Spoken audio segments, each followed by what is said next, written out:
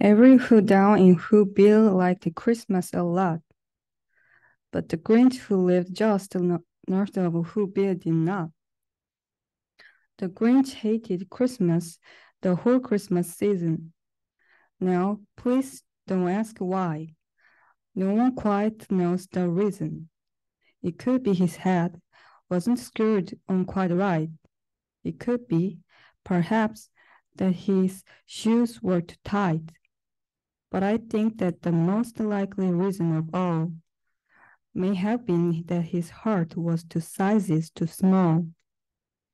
But whatever the reason, his heart or his shoes, he stood there on Christmas Eve, hailing the Who's, staring down from his cave with a sour, Grinch frown at the one lighted windows below in their town. For he knew every who down in Whoville beneath was busy now, hanging, uh, hanging a mistletoe wreath. And they're hanging their stockings. He snarled, he snarled with a sneer. Tomorrow is Christmas. It's practically not here. Then he grow, growled with his great finger nervously drumming. I must find a way for tomorrow.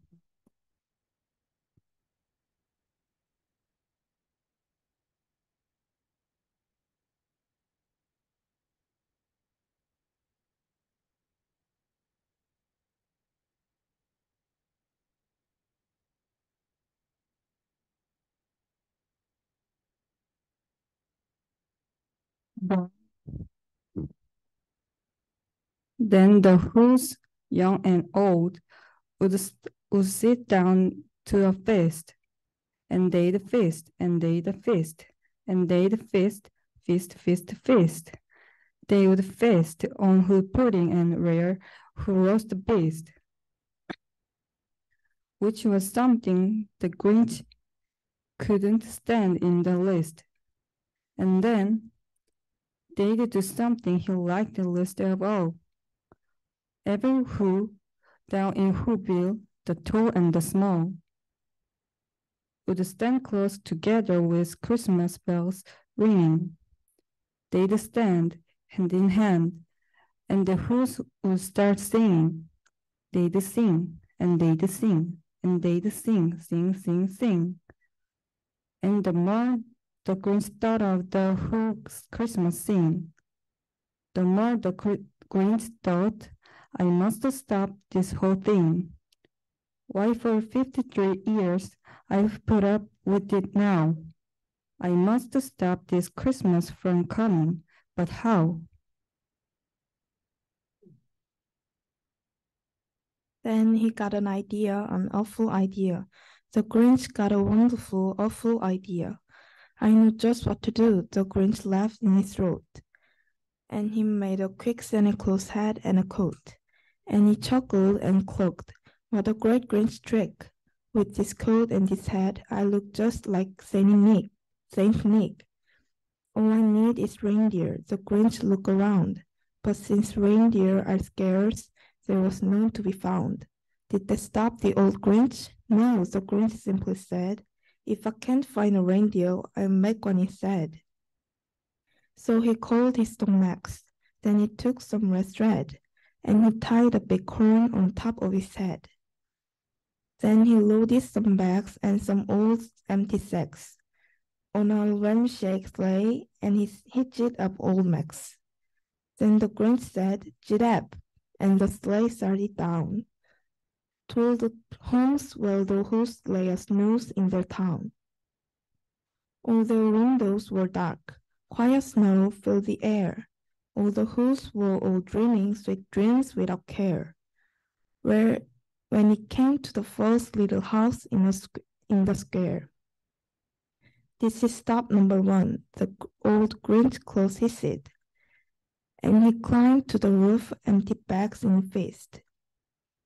Then he slid down the chimney, a rather tight pinch. But if Santa could do it, then so could the Grinch. He got stuck only once for a moment or two. Then he stuck his head out of out of the fireplace flue, where the little stocking all hung in a row. The stocking, he screamed, are the first thing to go. Then he slithered and slunk, with a smile most unpleasant, around the whole room, and he took every present, popguns and bicycle, roller skate, drums, checkerboard, tri tricycles, popcorns, and plums. And he stuffed them in bags. Then the Grinch very nimbly stuffed all the bags one by one up the chimney.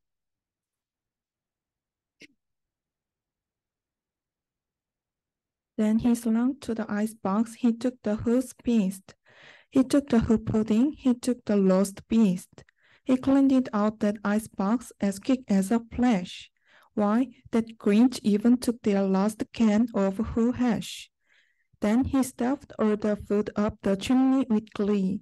And now, grinned the Grinch, I will stop up the tree. And the Grinch grabbed the tree and he started to shove when he heard a small sound like the coo of a dove. He turned around fast and he saw a small who, little Cindy Lou Who, who was not more than two. The Grinch had been caught by this tiny Who daughter, who'd got out of bed for a cup of cold water. She stared at the Grinch and said, Santa Claus, why? Why are you taking our Christmas tree? Why? But you know that old Grinch was so smart and so slick. He thought up a lie and he thought up, up quick. Why, my sweet little thought, the fake Santa Claus lied. There's a light on this tree that won't light on one side. So I'm taking it home to my workshop, my dear. I'll fix it up there, then I'll be back here. And his feet folded the child, then he patted her head and he got her a drink and he sent her to bed. And while Cindy went to bed with her cup, he went to the chimney and stuffed the tree up. Then the last thing he took was the long for their fire. Then he went up the chimney himself, the old liar. On their walls he left nothing but hooks and some wire and the one speck of food that he left in the house was a crumb that was even too small for a mouse. Then he did the same thing to the other whose houses, leaving crumbs much too small for the other whose mouses. It was quarter. Oh, thank you.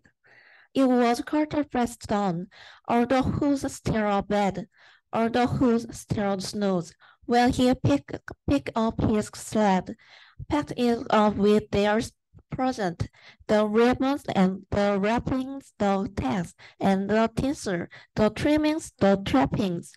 Three sounds feet up of the side of Mountain Crumpit.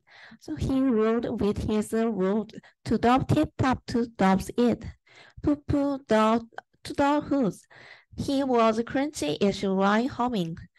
They are finding out now that no Christmas is coming. They are just working out. I know just what, what they are do. Their mouths will hang open a minute or two.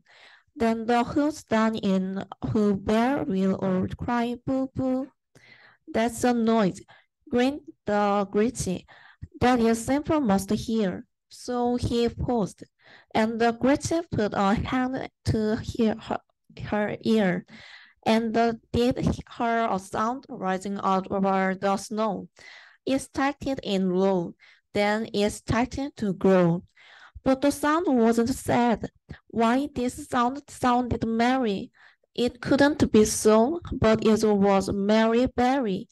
He start, started down at Whoville. The gritty popped his eyes. Then he shook. What he saw was a shocking surprise. Every who done in Whoville, the tall and the small, was singing without any present at all. He hadn't stopped yet Christmas for coming. It came. Somehow or other, it came just the same. and the greatest with his greatest big eyes could curled in the snow, still puzzling and puzzling. How could it be so? It came without labels, it came without tags, it came without packets, boxes, or bags.